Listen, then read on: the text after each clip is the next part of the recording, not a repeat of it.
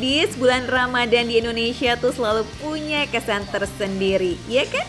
Tiap daerah pasti punya tradisi unik untuk menyambutnya.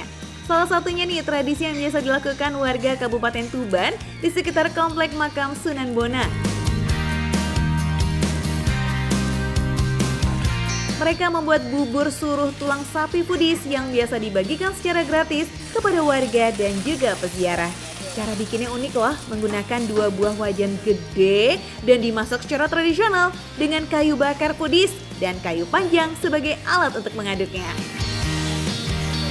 Untuk bahannya nih, ada beras, santan kelapa, tulang sapi, dan juga racikan rempah khas Jawa sebagai pemberi rasanya. Proses pembuatannya dilakukan bergotong royong, bahkan yang aduk aja sampai ganti-gantian gitu Pudis. Maklum, soalnya bisa pegel juga kan kalau ngaduknya sendirian. Secara kayunya aja udah besar ya, dan porsi buburnya banyak.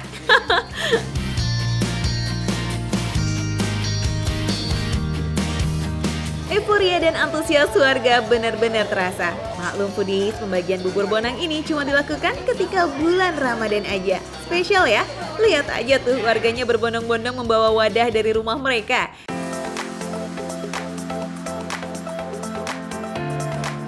Tradisi ini punya nilai positif banget sih dan sudah berlangsung selama ratusan tahun. Nah, sebagai upaya untuk melestarikan tradisi dari Sunan Bonang, salah satu wali songo penyebaran agama Islam di Pulau Jawa, hal ini dipertahankan sampai sekarang. Oh iya, kalian tahu nggak awal mula tujuan dari kegiatan ini? Sebagai cara dari Sunan Bonang dan pengikutnya untuk bersedekah. Dengan menyediakan takjil untuk berbuka dan membagikannya secara gratis kepada warga masyarakat miskin yang ada pada zamannya. Wah, semoga tradisi ini terus dilestarikan ya Foodies untuk memperkuat hubungan antar masyarakat dan juga sebagai media sedekah kepada sesama.